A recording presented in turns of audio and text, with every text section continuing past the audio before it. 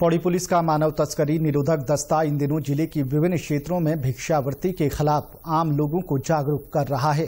अभियान कोटद्वार, श्रीनगर और लक्ष्मण झूला क्षेत्र में चलाया जा रहा है। कोटद्वार के विभिन्न क्षेत्रों में पुलिस ने भिक्षा नहीं, शिक्षा दो कार्यक्रम के तहत देवी मंदिर में नुक्कड़ नाटक कर लोगों को संदेश दिया।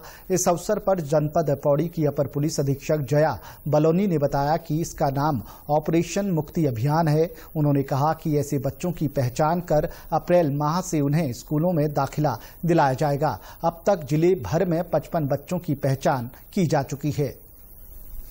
ऑपरेशन मुक्त इस अभियान का नाम है और इसका उद्देश्य है कि जो बच्चे भिक्षा मांग रहे हैं, उनको भिक्षा से हटाकर उनको शिक्षा प्रदान की जाए।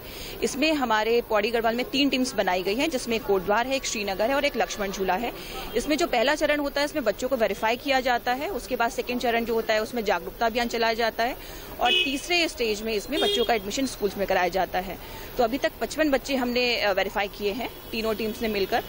और आजकल ये जागरूकता अभियान भी चल रहा है। जैसे आपने देखा कि यहाँ पर आज नुक्कड़ नाटक बच्चों द्वारा किया गया है जिसमें कि बताया गया है कि शिक्षा का महत्व कितना अधिक है और लोगों को जागरूक किया गया है कि वो बच्चों को शिक्षा के लिए प्रोत्साहित करें ना कि भिक्षा दें।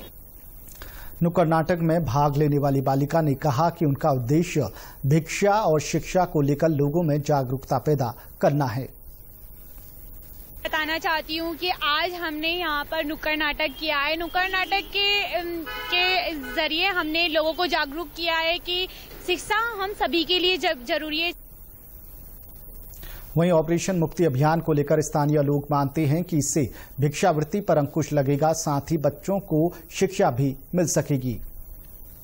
तो बच्चों की शिक्षा को लेकर और महिला सशक्तिकरण को लेकर काफ़ी लोग काम करते हैं और लगता है कि ऐसे अगर सभी लोग इसमें जुड़ेंगे तो बदलाव आएगा क्योंकि किसी भी चीज़ को गलत हो या सही समाज को ले जाने में सभी की भागीदारी रहती है और मुझे लगता है कि हम जैसे आम जनता को भी आज मैंने इन लोगों का नंबर भी लिया और मैंने कहा कि हमसे भी जो सहयोग होगा बच्चों के लिए, महिलाओं के लिए हम करेंगे।